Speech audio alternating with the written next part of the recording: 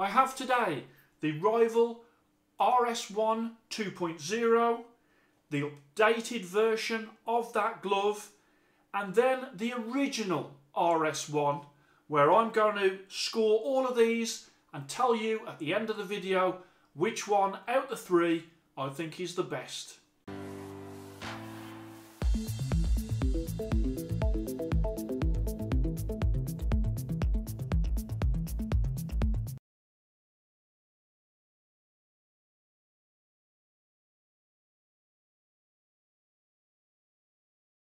Hello and welcome to Fit2Box channel. I'm Simon, former amateur boxer, current amateur boxing coach, and I on Fit2Box channel bring you all things boxing equipment. Today is the turn of the Rival RS1 2.0 gloves. Okay, so in front of me I've got the 2.0, I've got the updated version, and I've borrowed from a lad at the gym these ones which I have seen extensively over probably the last three or four years in sparring the original leather versions.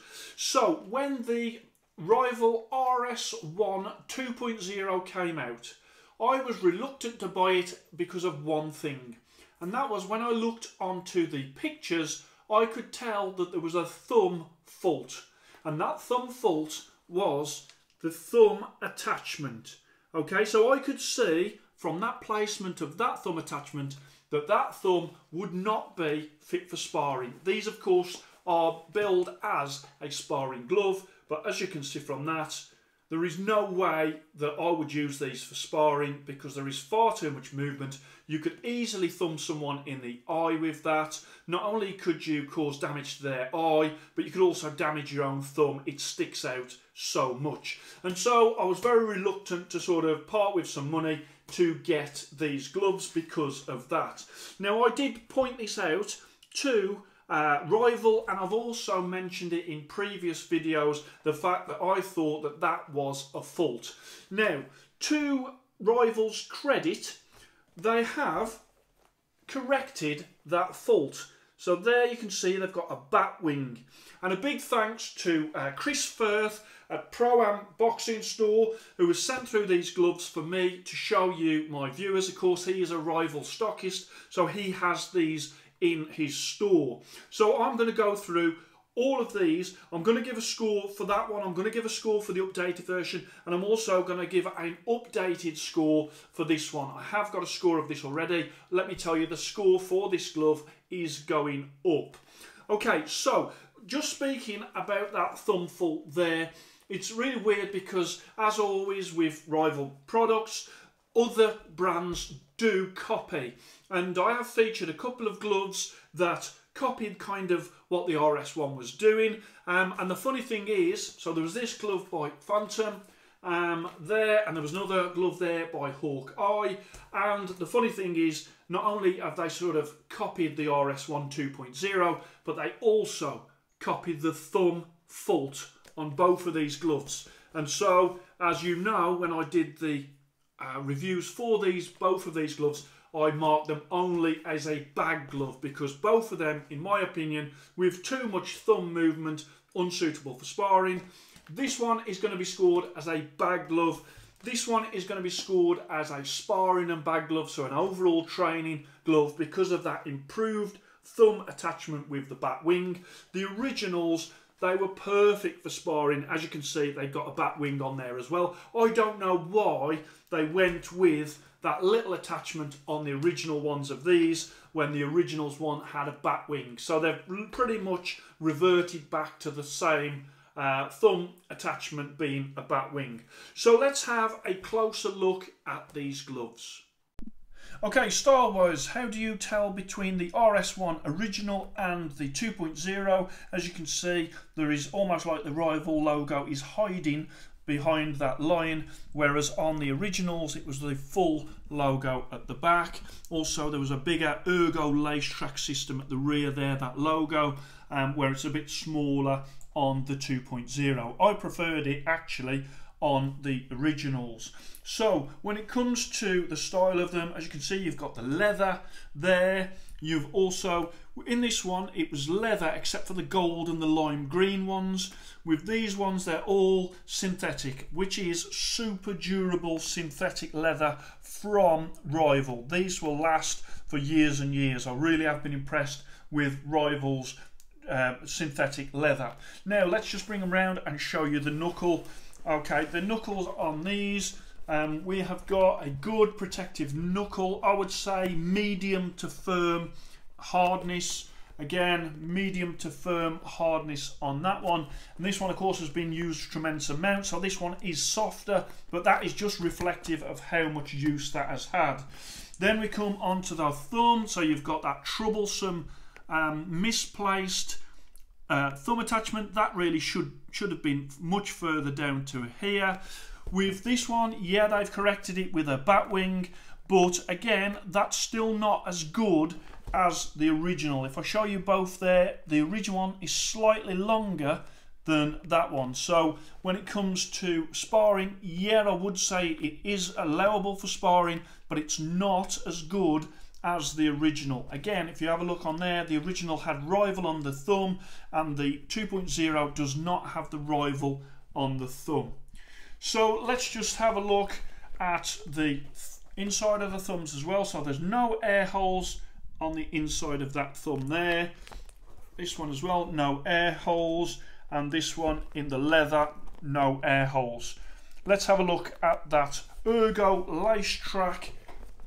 You slot the laces across there and you've got that angle on there as well. And this is a superb wrist on a boxing glove. I would say one of the best wrists on a lace, boxing glove that you will get. And at the bottom there, you've got a rubber badge, you've got a rubber badge, and also the original had a rubber badge on there as well. Let's have a look at the face of the glove. Um, you've got a good grip bar.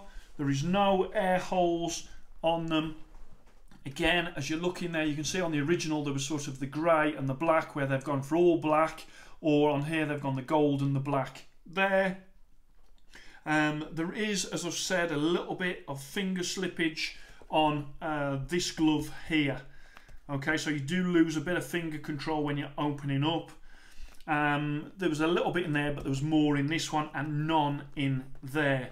So let's have a look at the stitching. As you can see, I really do think that all of these three gloves are very well made when it comes to the stitching, whether they're the 2.0 in the synthetic or the originals where you've got that there in the leather. And then on the lining as well let's just have a quick look at the lining. And the lining is a soft spongy lining that is comfortable the only thing I would say is you have got that sort of finger movement in this one. And then the original lining was there as well. Again it is a good lining.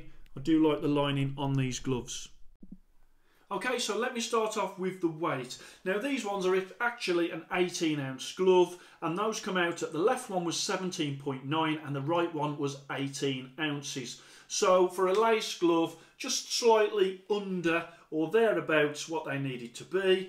Then with these ones, these came out, these are a 16 ounce glove, these came out at 15.6 and 15.6, so these are under, slightly under for a lace glove. And then these originals in the leather, actually these have been used a lot. These came out at 15.4 for the left and 15.7 for the right. I don't know in the last two or three or four years that these have been used whether any padding has come away in there and that's made them lighter but that's certainly what they weigh now of course these are leather these are synthetic leather and these are synthetic leather so let's just run through the comfort so this one, first of all, obviously I've mentioned that thumb. Um, so that's not, not great when it comes to sparring.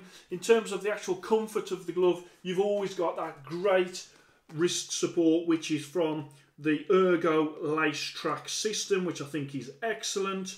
Um, and the knuckle area, very protective. And inside there, it does feel comfort uh, feel comfortable, although you've got a bit too much movement in that thumb. There's certainly no areas in there that are sort of pinching, not at the front, not behind the fingernails, the finger pad, uh, or the or the thumb. Even though it's sort of movable, it's not uncomfortable. With these though, you can open open the hand up no problem and there's a little bit of finger slippage on the end there when you do that when I come to this one again you know it's same as that. It's a very comfortable glove. The only thing I would say is obviously you've got less thumb movement. Now you've got a bat wing. And also with this one in particular when you open up the hand I do find there's a bit of internal lining slippage which means that my fingers are sort of in that position there when I've got it open which obviously you lose the end of the glove. And repeatedly as you're doing it it's almost like you haven't got as much control. Very much like uh, these two gloves as well had the same thing whereby you lost because of the inner lining you lose that finger control. When it comes to the originals put them in there open up um, no sort of loss of the end of the fingers when you're opening and again a comfortable glove. So let's just bring that round. As I say this one is not suitable for sparring so I'm going to score this as a bag glove. And on the bag obviously because of that wrist really good wrist support good knuckle protection. So it does come out uh, at a decent score for the bag. Now with this one of course the thumb is fixed. I would say it's now suitable for sparring although you have got that finger slippage. And then with this one that bat wing, no finger slippage at all. The leather, the great wrist, and super durable. This has been used probably over a thousand rounds, and it's still it's still good for some more rounds. I've seen this glove so often. It's never really been used on the bags. It's always been for sparring, but I think for how much it's been used, it's still in great shape. So let's just go through the cards. So we've got in the Fit2Box bag division, we've got style 94, comfort 95, durability 96, sparring non applicable, bag 94, value for money 95 at about 160 UK pounds. That is 94.8. That's two stars. That's a great bag glove. Then we come on to this one, and this one's going to go into the Fit2Box middleweight lace division for gloves between 101 English pounds and 200 English pounds, or 121 US dollars to 250 US dollars. Style 94, comfort 95, durability 96 in that synthetic leather, sparring 92. I think that finger slippage um, and also uh, even though the, the thumb is fixed, I don't think that the thumb is as good as the actual original. Uh, that bat wing is not as good as the originals. So Spar 92, bag 94, value for money at 160 UK pounds at 95. And so this comes out at 94.3, one star and a very good uh, glove when it comes to the Fit2Box scale.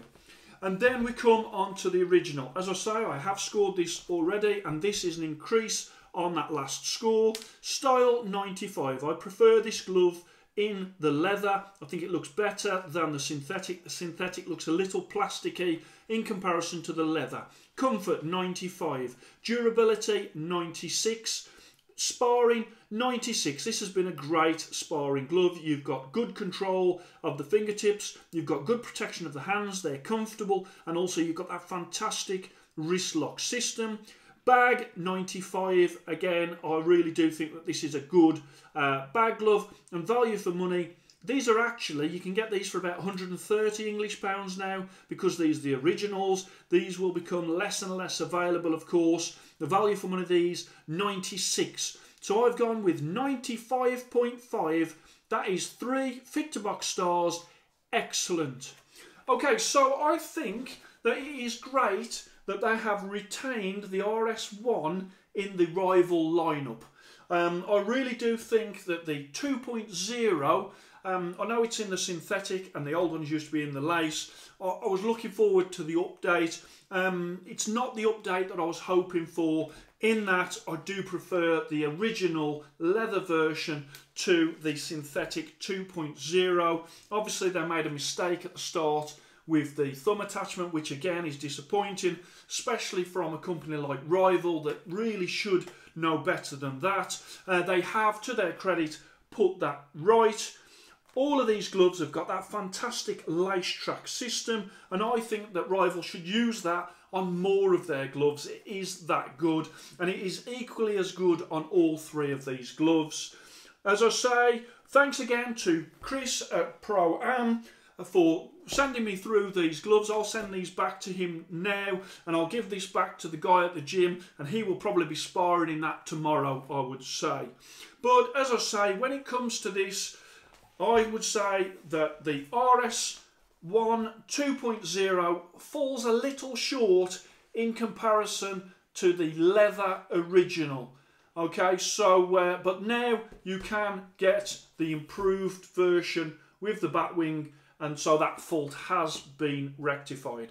So I hope you enjoyed that. Please like and subscribe to Fit2Box channel and I shall speak to you soon.